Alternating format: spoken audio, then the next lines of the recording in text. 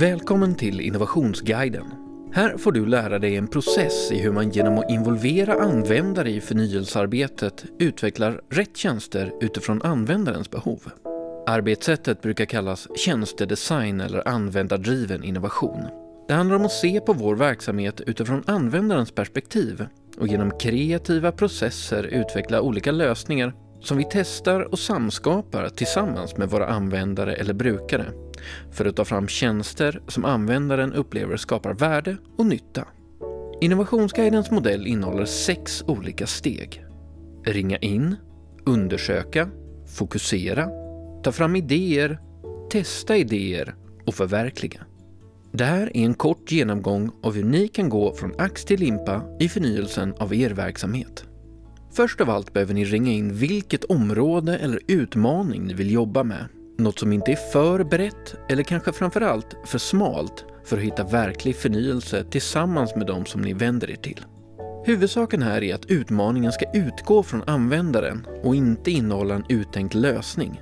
Det kan låta enkelt, men vi har ofta en färdig lösning i bakhuvudet och om den får vara utgångspunkten så kommer man ofta på sig själv att undersöka just den lösningen istället för användarens verkliga behov.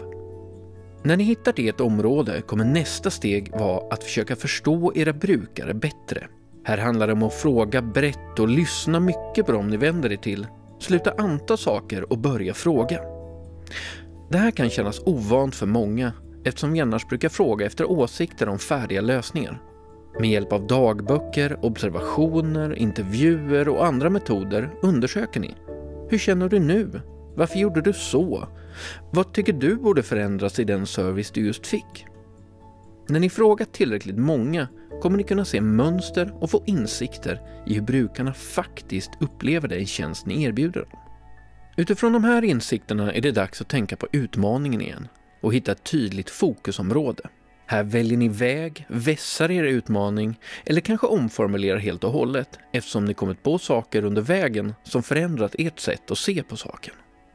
När ni har ett tydligt fokusområde, en fråga ni vet är viktig för era användare, är det återigen dags att tänka brett.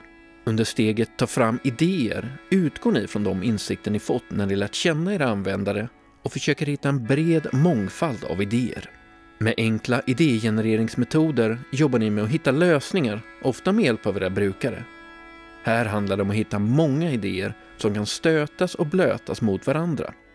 Det handlar inte om att komma upp med en superidé från början, utan mer om att generera ett stort utbud av möjligheter. Några av idéerna, eller blandningar av de idéerna, kommer sedan testas av era brukare. Att testa lösningar innebär att ni med hjälp av prototyper, enkla modeller och skisser som människor kan interagera med möter era brukare och får inspel och åsikter kring er lösning. Prototyperna behöver inte vara avancerade eller ta lång tid att skapa. Det är viktigare att snabbt skapa något, testa det, få feedback, ändra och testa igen. Det viktigaste av allt är att testerna sker tillsammans med de som ska använda tjänsten eller produkten och med de som ska utföra den. När ni har kommit hit har ni förhoppningsvis en lösning som ni har tagit fram tillsammans med era brukare och som ni har testat i verkligheten med bra resultat. Nu gäller det att få större förståelse för hur lösningen fungerar i praktiken. Att ta steget från färdig lösning till förverkligande kan vara en lång eller kort process beroende på lösningens karaktär. Här får du tips om hur man kan live-testa lösningen under en begränsad tid och hur du får med dig medarbetarna på tåget. Och det är vår arbetsprocess.